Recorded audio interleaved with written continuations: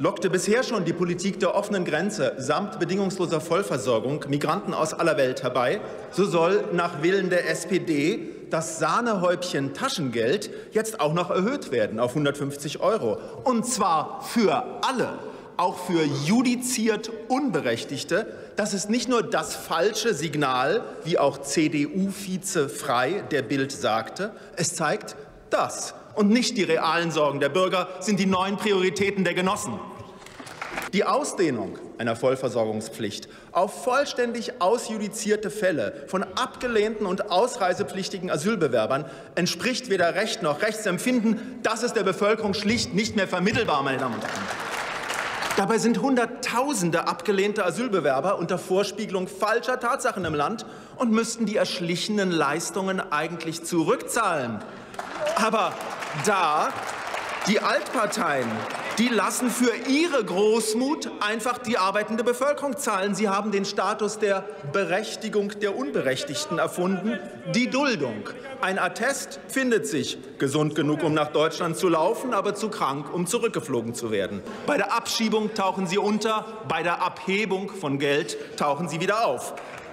Der SPD-Arbeitsminister hat erkannt, wofür eine deutsche Arbeiterpartei eintreten muss. Alle die Leute müssen nicht nur weiter versorgt werden, sondern noch besser, 11 Prozent mehr. Wer bitte erklärt das den Bürgern, diesen Irrsinn, dem deutschen Arbeitslosen, der alleinerziehenden Mutter, dem Niedriglöhner, der seine Rente nicht mehr zusammenbekommt? Denen ist längst klar, diese SPD vertritt ihre Interessen nicht mehr. Die sagen sich zu Recht, für die tut ihr alles, für uns tut ihr nichts.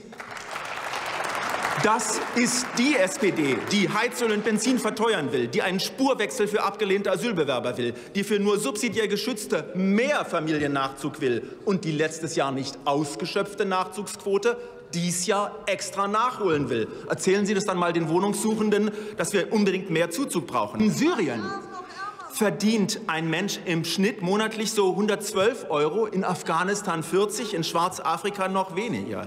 Wer will noch leben wie Gott in Frankreich, wenn er als Asylbewerber in Deutschland leben kann?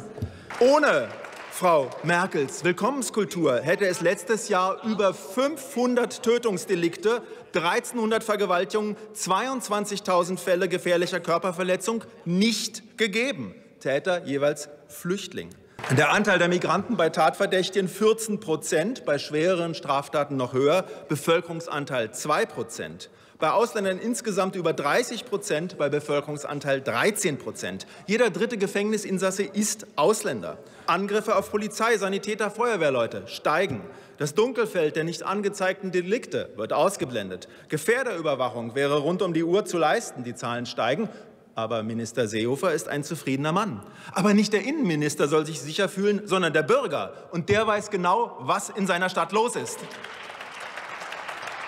Weniger Wohnungseinbrüche, eine Leistung der Regierung, von wegen, erfolgt nur durch kostenaufwendige Prävention seitens der Bürger gegen die Schengen verursachte grenzüberschreitende Kriminalität, tut die Regierung wenig. Weil die Grenzen nicht gesichert werden, müssen die Leute jetzt ihre Haustür sichern. Wenn Ärzte zunehmende Aggressivität beklagen, werden die Eskalationskurse und Sicherheitstrainings angeboten, natürlich für die Ärzte. Migranten dürfen ausrasten.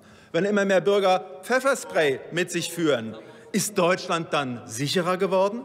Wenn immer mehr Menschen in No-Go-Areas nicht wagen hineinzugehen und das dann zum Rückgang der Kriminalität führt, dann ist das vorauseilende Risiko Vermeidung wegen bereits herrschender Kriminalität und geht auf Kosten des Lebensraums der Bürger. Das ist staatliches Totalversagen. Im Sicherheitsranking des Weltwirtschaftsforums ist Deutschland 2017 auf Platz 51, zwei Jahre zuvor noch Platz 20. Wenn Herr Seehofer sagt, Deutschland ist eines der sichersten Länder der Welt, ja, meine Damen und Herren, für Kriminelle. Ich danke Ihnen. Dieses Fachkräfteeinwanderungsgesetz es ist eine Mogelpackung. Es dient gerade nicht dem Zweck, den es zu befördern vorgibt. Was lesen wir da? Keine Beschränkung auf Mangelberufe. Also egal, ob wir die Leute überhaupt brauchen, Hauptsache mehr fremdkulturelle Zuwanderung. Keine Vorrangprüfung.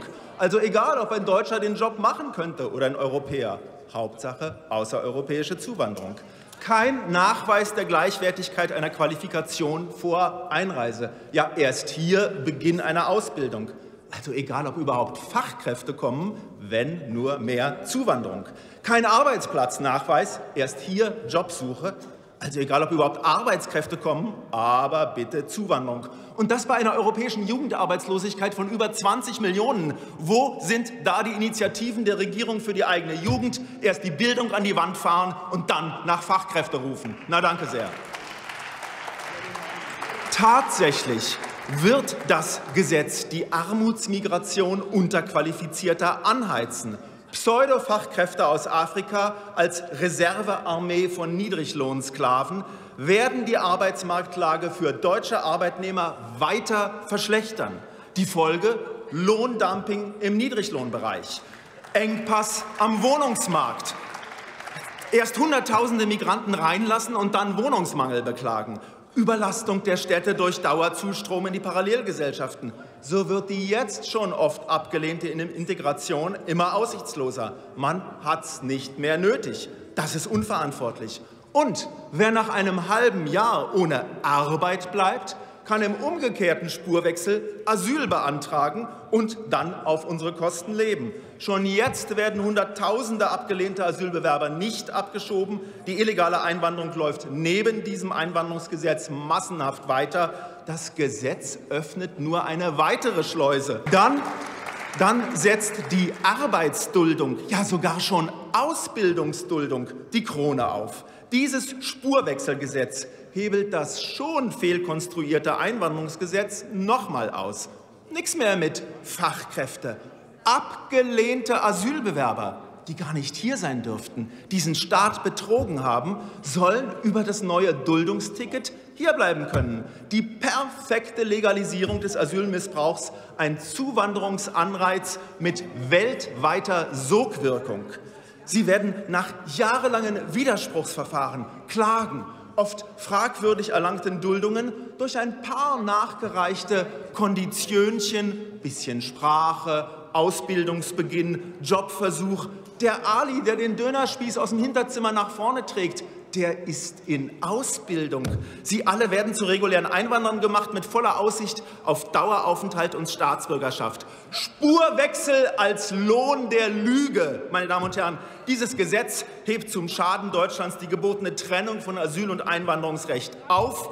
Das dient nicht pragmatisch den Interessen unserer Bürger, sondern missbraucht deren Leistungsfähigkeit für die Wohlfahrt ausländischer Migranten. Die AfD wird das beenden, denn der gefährlichste Fachkräftemangel, den wir in Deutschland haben, ist der in der Regierung. Ich danke Ihnen.